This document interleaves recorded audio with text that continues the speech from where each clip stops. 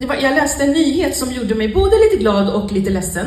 Eh, och det var eh, en sån här hundmatte som hade skickat in en insändare eh, till lokaltidningen om att hon tycker att nu måste vi införa könsseparerade rastgårdar. För att när tikarna löper, liksom, de får ju aldrig vara i fred för hanhundarna. Liksom. De är efter dem liksom hela tiden. Och jag alltså, fattar tjejer, fattar Tina och Caroline, fattar liksom inte ens få pissa i fred. Liksom, så här, utan att det ska stå någon kåt jävla box där och bara Ligga, ligga. Bara, nej, jag vill bara kissa, ursäkta mig. Ah. Men sen har jag kommit på att det kanske faktiskt är så ändå att det faktiskt är jobbigare för oss tjejer. För vi har ju både äckliga gubbar och äckliga hundar efter oss. Liksom, så Medan ni gubbar skulle liksom inte börja nosa hundar, i skrevet. sådär.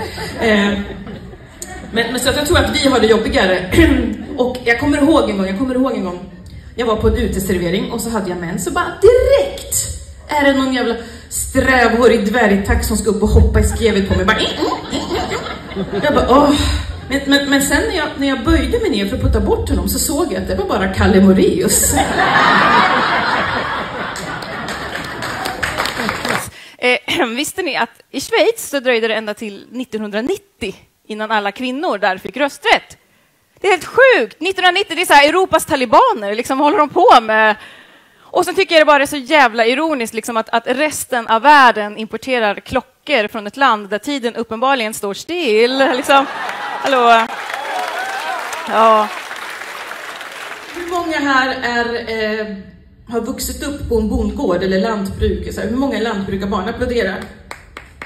Några stycken i alla fall. Det är ju ganska ganska många lantbrukarbarn här ute. Och jag vet inte hur ni känner, men ibland kan jag bli så irriterad när jag hör folk säga så här Åh, men det är så bra för här i Sverige har vi inget barnarbete. Man bara, alltså hallå? Har ni besökt ett svenskt lantbruk liksom så här?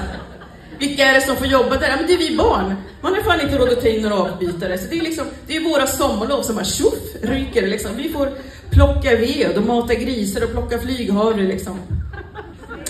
I somras kom det fram en kvinna till mig på stan. Hon bara, hej, jag kommer från en organisation som heter Rädda Barnen. Jag bara, hej, du kommer 40 år för sent, bitch. Alltså jag, jag tycker det är väldigt skönt att sommaren är över. För det är alltid så att vi tjejer förväntas vaxa bikinilinjen. Och jag tillhör den falangen som har låtit det växa fritt. Så här protest mot alla skönhetsideal och sådär liksom. Men jag har ju kommit fram till nu att det är ju tyvärr jävligt opraktiskt att vara feminist ibland.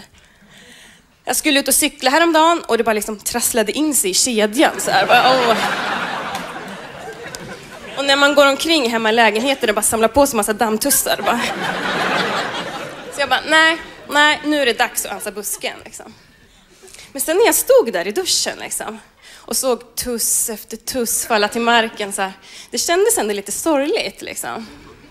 Och det var då jag insåg att shit, det måste ha varit precis så här de kände sig ni vet de här stackars skogsägarna nere i Skåne och Småland efter den här januaristormen.